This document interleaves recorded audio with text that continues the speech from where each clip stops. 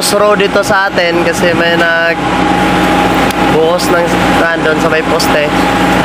So busy pa rin tayo no, may nabaklas pa rin tayo dito na XRE 125, di nakagat yung cambio niya.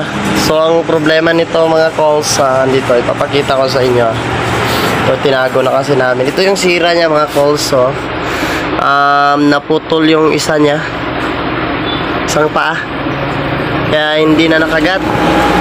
At saka yung iba naman, isa na yon. Ito. Ito mga calls. So, natanggal yung rivet sa dito yung tatlo.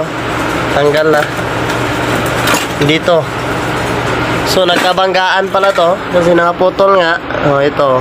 Wala na. Wasak na. So, kahit ganun yung nangyari, ayusin pa rin natin yan. Uh, hope na maisapian ngayon. Peace yo. the angle works.